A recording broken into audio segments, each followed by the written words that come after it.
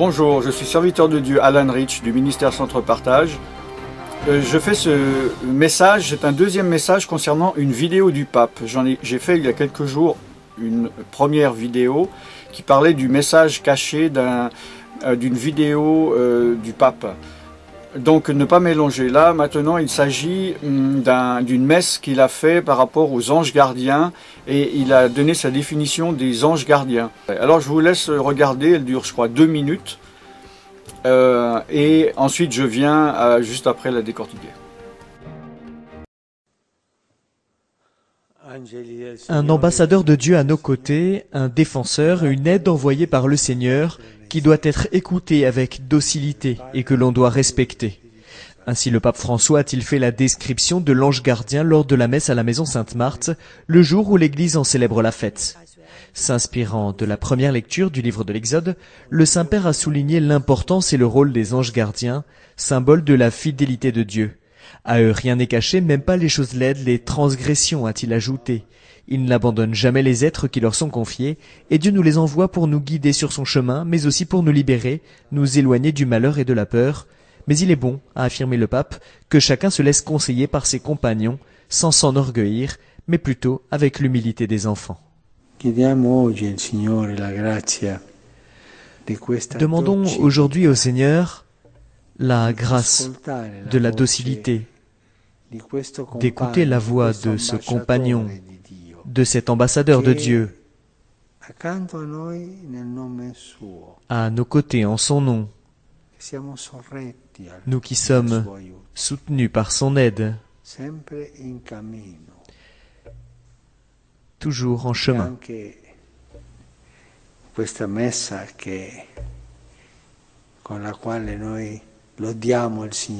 Et aussi en cette messe où nous louons le Seigneur, Souvenons-nous ô combien le Seigneur est bon,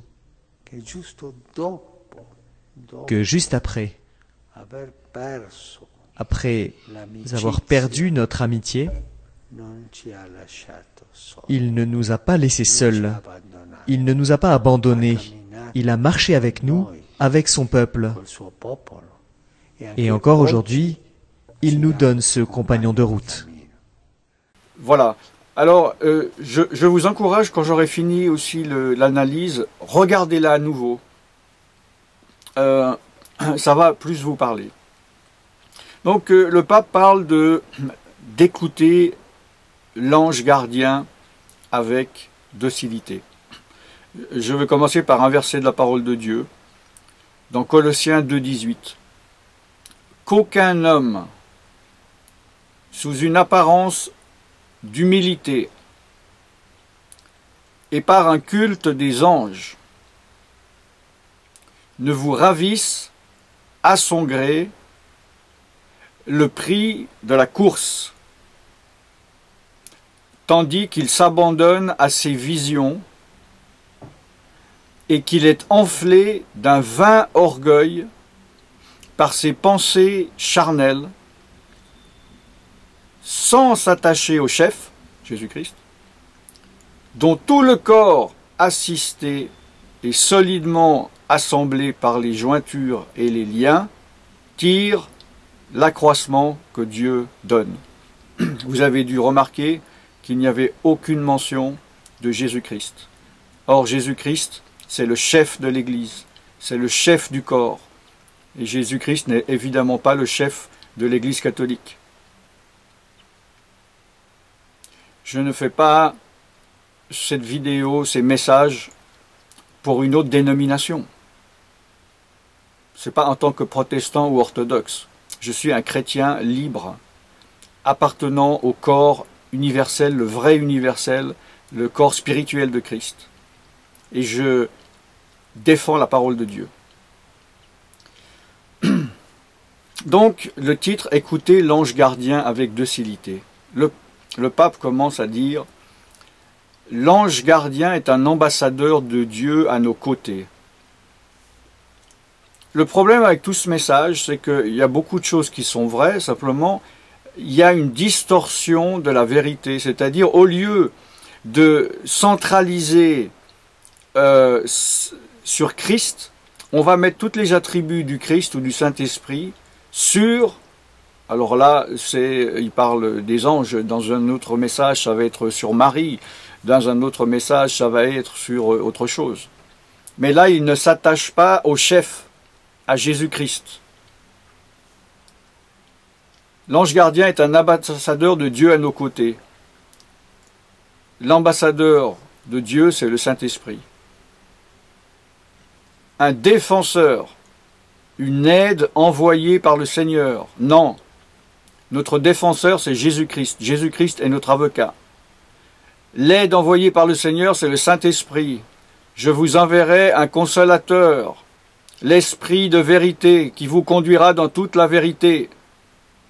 Il n'a pas dit je vous enverrai un pape qui vous enverra euh, d'être docile et d'écouter un démon, un ange.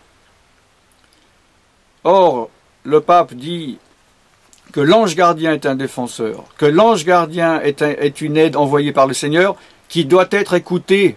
Non, l'ange gardien ne doit pas être écouté. La parole de Dieu doit être écoutée.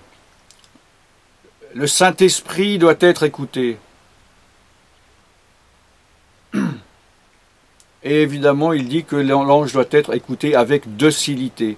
Soyez docile comme un petit toutou à ces démons, à ces anges, non. Et nous devons respecter ces anges. Ce qui veut dire avoir de la crainte, avoir de l'empathie. Ils nous poussent à la communion à des anges, donc à des démons. Car Dieu ne nous demande pas ce que le pape demande. Alors le texte dit, voici la description qu'a fait le pape de l'ange gardien le jour, comme par hasard, de la fête des anges gardiens. Ils ont un jour de culte à l'ange gardien. Grande abomination devant l'Éternel. Donc, euh, dans le message, le, traducteur dit le pape a souligné le rôle et l'importance de l'ange gardien, symbole de la fidélité de Dieu. Au nom, au nom de Jésus, je refuse ces paroles. Les anges gardiens ne sont pas les symboles de la fidélité de Dieu. Jésus-Christ a été fidèle jusqu'à la mort.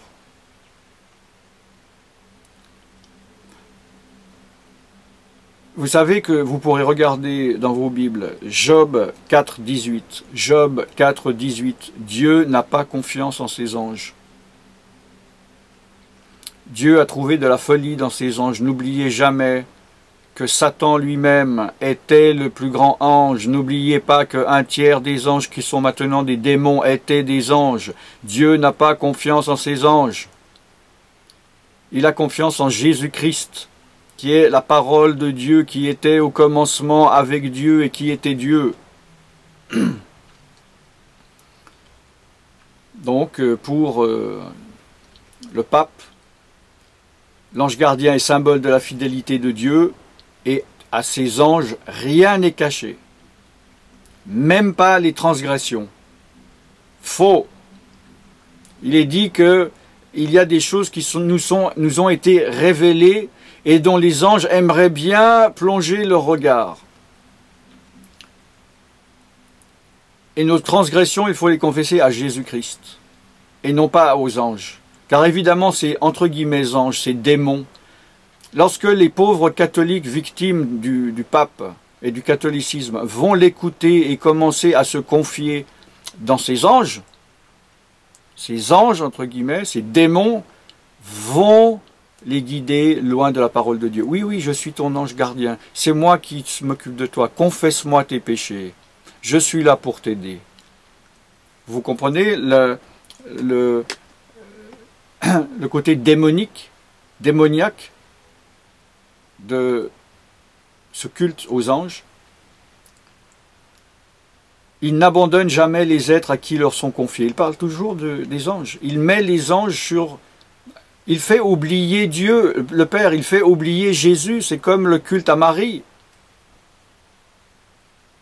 Dieu envoie les anges pour nous guider sur son chemin. Non, Dieu nous a envoyé le Saint-Esprit. Jésus-Christ a dit, Dieu vous enverra un guide, le Saint-Esprit. Le diable dit, au travers du pape, Dieu envoie des anges pour vous guider sur votre chemin.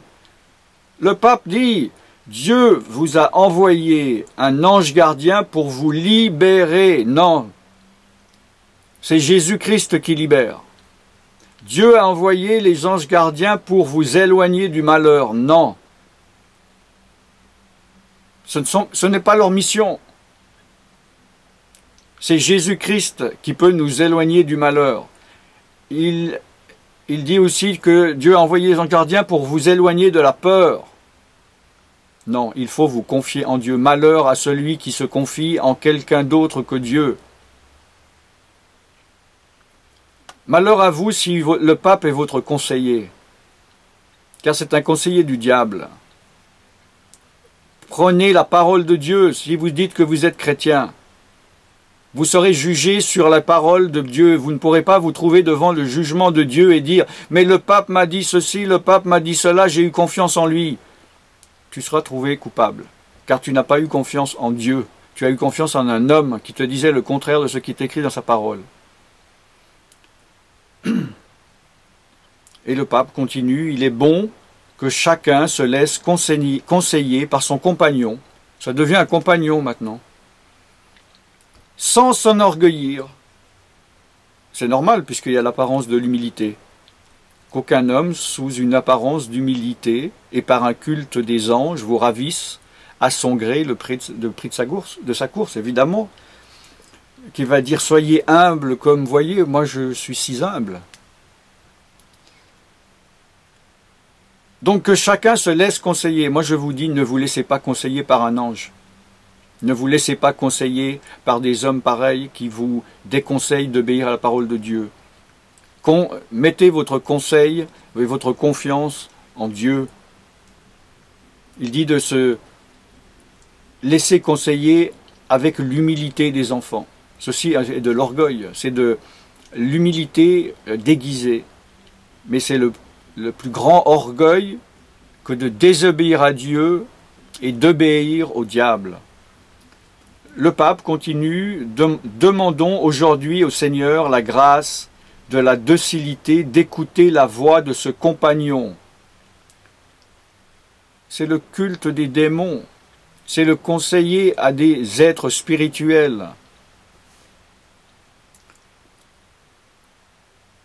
Euh, l'ange gardien est à, nos côtés, en son nom, au nom de Dieu. Non. Non, ne vous confiez pas dans, dans cet euh, être nous qui sommes soutenus par son aide, l'aide de l'ange, pas de Dieu. Il amoindrit la vérité, il... c'est le rôle du diable. Le diable sait qu'il ne pourra jamais être à la place de Dieu.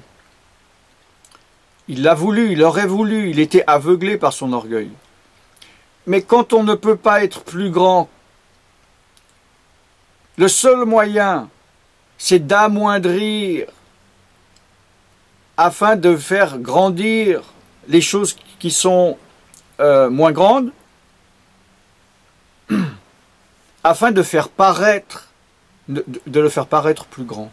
Et c'est ça, ce message caché par rapport aux anges, euh, au message des anges euh, fait par le pape.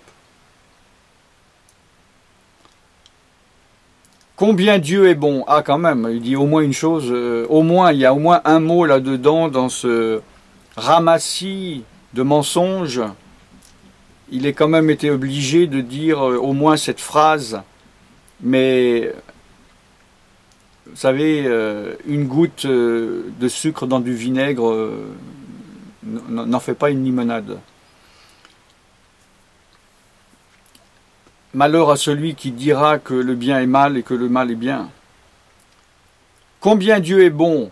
Ah, pourquoi? Combien Dieu est bon? Pourquoi? Ah, il, il nous a envoyé son Fils Jésus-Christ, mourir sur la croix, payer nos péchés. Il a élevé le nom de Jésus-Christ Non. Car après avoir perdu notre amitié, ça, ça veut dire péché, hein, c'est une manière très jolie de dire... Euh, euh, que l'homme a désobéi à Dieu. Après avoir perdu notre amitié, il ne nous a pas laissés seuls. Ah, enfin, il va parler de Jésus et du Saint-Esprit. Il ne nous a pas abandonnés. Ah. Il a marché avec nous. Ah, alors là, il parle de Jésus, avec son peuple. Et encore aujourd'hui, il nous donne ce compagnon de route. Non, c'est pire que ce que vous pensiez. Et que ce que je pensais. Il parle des, anges. Il n'a pas parlé de Jésus. Dieu ne nous a pas laissés seuls, il nous a donné un ange. Dieu ne nous a pas abandonnés, il nous a donné un ange. Après avoir perdu notre amitié, ça veut dire après que l'homme aille péché, il ne nous a pas laissés seuls, il nous a donné un ange. Après, il ne nous, euh, nous a pas abandonnés, il nous a laissé un ange. Il nous a envoyé un ange pour marcher avec son peuple et encore aujourd'hui, il nous donne ce compagnon de route. Mensonge. C'est Jésus-Christ qui a marché sur cette terre, qui est devenu chair. C'est Jésus-Christ qui est avec nous maintenant et qui a envoyé le Saint-Esprit. C'est Jésus-Christ notre compagnon de route. Je vais donner des versets par rapport à tout cela. Nous allons voir dans Colossiens 2, 23. Ils ont à la vérité une apparence de sagesse en ce qu'ils indiquent qu'ils indiquent un culte volontaire de l'humilité et le mépris du corps. Mais ils sont sans aucun mérite et contribuent à la satisfaction de la chair. Le pape, c'est le, c'est le champion de l'apparence de l'humilité. Colossiens 2.8 Prenez garde que personne ne fasse de vous sa proie par la philosophie et par une vaine tromperie s'appuyant sur la tradition des hommes, sur les rudiments du monde, et non sur Christ. Eux qui ont changé la vérité de Dieu en mensonge, et qui ont adoré et servi la créature, l'ange, au lieu du Créateur. 1 Corinthiens 8.5 Car s'il est des êtres qui sont appelés dieux, soit dans le ciel, soit sur la terre, comme il existe réellement plusieurs dieux et plusieurs seigneurs, Néanmoins, pour nous, il n'y a qu'un seul Dieu, le Père, de qui viennent toutes choses, et non pas des anges, et pour qui nous sommes, et un seul Seigneur, Jésus-Christ, par qui sont toutes choses et par qui nous sommes. Tite 4.1 Mais l'Esprit dit expressément que dans les derniers temps, quelques-uns abonneront la foi pour s'attacher à des esprits séducteurs et à des doctrines de démons. Voilà, chers euh, frères et sœurs, je ne veux pas être trop long. ce n'est pas une étude. J'aurais pu vous donner beaucoup, beaucoup euh, de versets, mais c'est simplement pour mettre euh, shed a light, mettre une lumière par rapport à tout ce qui est, tout ce que là implique, s'implique. Parce que, comme je vous le dis, je ne cherche pas la petite bête. Hein, c'est pas comme si il a dit un message et je vais le I'm going to trick him, je vais essayer de, l'avoir. Non, ces textes sont écrits, les mots sont choisis, et donc tout cela a une importance. C'est pour ça que je me permets de faire cela. Vous pouvez euh, voir cette, euh, ou écouter à nouveau ce message sur Radio Jésus-Christ sur radiojésuschrist.com et voir les enseignements divers et variés. Il y a plus de 1500 vidéos sur centre-partage.com. Si vous avez besoin d'être délivré d'esprit de séduction, euh, catholique, orthodoxe ou protestant, vous pouvez venir au portique de Salomon euh, et voir euh, la présentation du Centre international de guérison et de délivrance sur portique-de-salomon.com. Je suis serviteur de Dieu Alan Rich et je vous bénis au nom puissant de Jésus-Christ de Nazareth. Shalom